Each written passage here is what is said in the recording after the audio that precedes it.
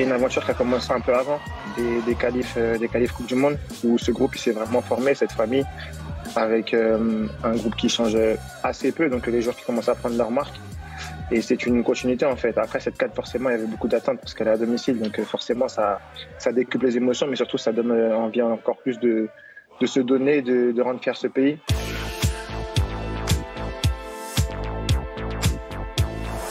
Ils savent bien, les Camerounais, que le match sera plié. Attention à la profondeur avec Aboubacar Le sixième but dans cette carte, le festival d'Aboubacar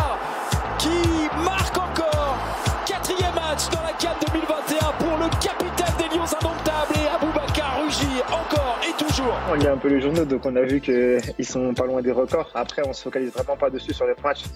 Je pense qu'on a pu voir que l'un comme l'autre, quand ils peuvent se trouver, comme nos attaquants, ils se trouvent, ils essayent de se décaler et vraiment, ils pensent collectif d'abord. Ce ballon déjà dans la surface de réparation. Tout le monde est surpris, mais surtout la défense gambienne. C'est allé vite, trop vite, et en quelques minutes seulement, Toko et Kambi vient inscrire ses quatrième et cinquième buts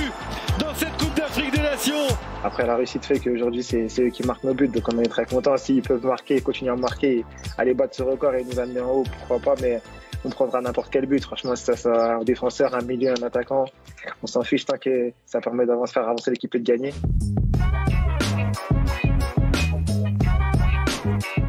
C'est le lot des grands joueurs. Il faut, il faut faire avec. Je pense qu'il y a des choses qu'il va falloir adapter. Est-ce que le coach va faire un plan, tout ça je pense pas. Il va surtout prendre certaines spécificités, de son jeu et peut-être certaines situations il faudra peut-être aménager. Mais c'est vrai que c'est un grand joueur qui monte en puissance, qu'il va falloir faire attention à lui parce que c'est les joueurs qui peuvent débloquer un match sur une situation.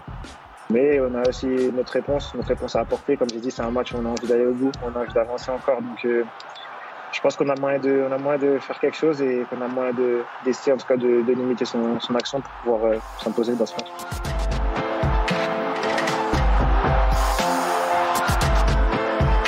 C'est une équipe qui s'est gagnée, faut pas se mentir, une équipe qui a gagné récemment encore à la Cannes et qui la gagne très souvent.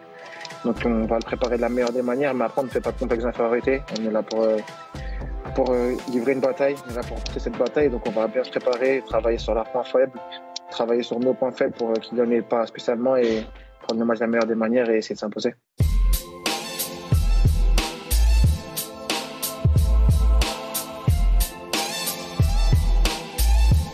C'est une des méthodes, il y a des équipes qui le pratiquent. Après, il faut savoir que nous, on est à domicile, donc il y a l'équipe émotionnelle à bien gérer.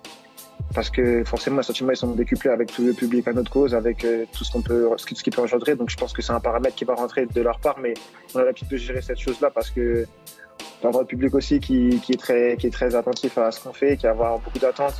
Si ça vient pas, qui peut, entre guillemets, être impatient. Donc, déjà, l'équilibre émotionnel, on arrive à le gérer déjà une première fois pas hors Égypte. Donc, on va devoir euh, inclure ce paramètre. Mais je pense que il influe, il faut y penser. Mais je pense pas que ce soit une grosse, grosse donnée, même si on doit l'avoir dans sa montée.